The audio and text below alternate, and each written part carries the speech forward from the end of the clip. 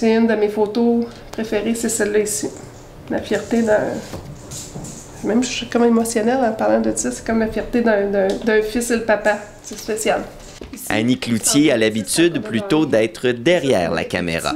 Les photos de famille qu'elle a prises au fil des années font la chronologie des moments forts de la carrière de son mari, Stephen Waite, qui pendant dix ans a été entraîneur de gardien de but pour les Blackhawks de Chicago. Faut que tu aimes le hockey pour, euh, pour, être avec un conjoint qui aime le hockey autant que Stéphane l'aime. Euh, c'est comme, euh, c'est comme une deuxième blonde dans une vie. De, le hockey était tellement passionné, mais il a toujours cru qu'il pouvait se rendre jusqu'en haut, jusqu'au top c'est quelque chose, la fébrilité est là, on est comme nerveux, on est excité, ça nous. Euh, ça vient nous chercher, surtout que de l'avoir vécu une fois.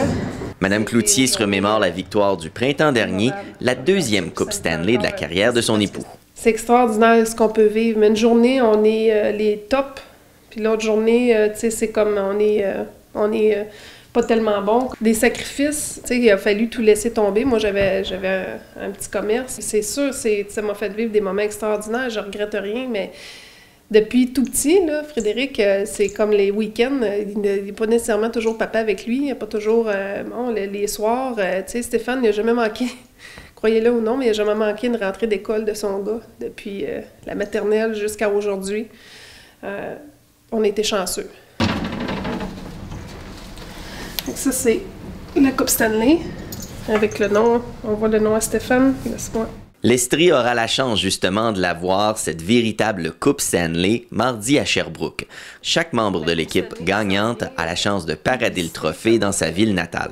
C'est une, belle célébration, c'est comme... Euh, c'est le fun, c'est de partager ça, euh, tu sais, comme Stéphane avec euh, les, citoyens de Sherbrooke. c'est spécial quand tu la vois sur ta table de cuisine, c'est comme wow, mais tu sais, il y a tellement de travail derrière ça, il y a tellement de travail, tellement d'années. La famille Wade-Cloutier se prépare encore pour d'autres changements important, Stéphane Waite a été recruté récemment par le Canadien de Montréal. On le verra pas, plus qu'on le voyait quand il était à Chicago, parce que sur la moitié du temps sur la route, Stéphane continue à faire ce qu'il aime dans la vie. Moi, je retrouve ma famille, mon monde, ma place. Je suis tellement contente. C'est comme, pour moi, c'est la vie parfaite. William Levasseur pour Estrie Plus à Sherbrooke.